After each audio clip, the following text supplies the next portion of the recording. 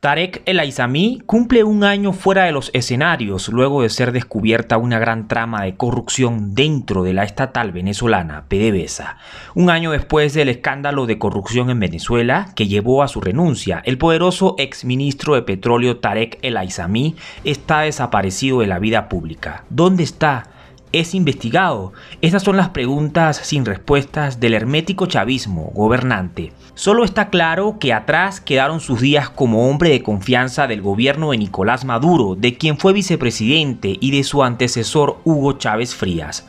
Tarek El Aizami, de 49 años de edad y sancionado por los Estados Unidos, renunció el 20 de marzo del 2023 tras el anuncio de investigaciones judiciales por una trama vinculada con la venta de petróleo venezolano a través de criptoactivos, apuesta con la que el gobierno de Nicolás Maduro buscaba eludir las sanciones financieras impuestas por los Estados Unidos en contra de Venezuela, que tiene las mayores reservas petroleras del mundo, 297 mil millones de barriles fueron detenidos 61 funcionarios, políticos y empresarios, tras un desfalco de más de 15 mil millones de dólares según informes de la prensa en Venezuela.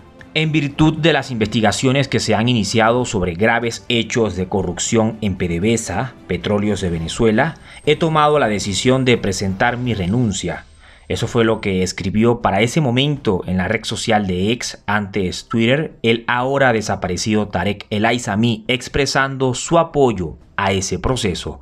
Sin embargo, el nombre de Tarek El Aizami entró en una gaveta bajo llave. El ex ministro nunca más apareció en público y la renuncia es su última publicación en redes sociales.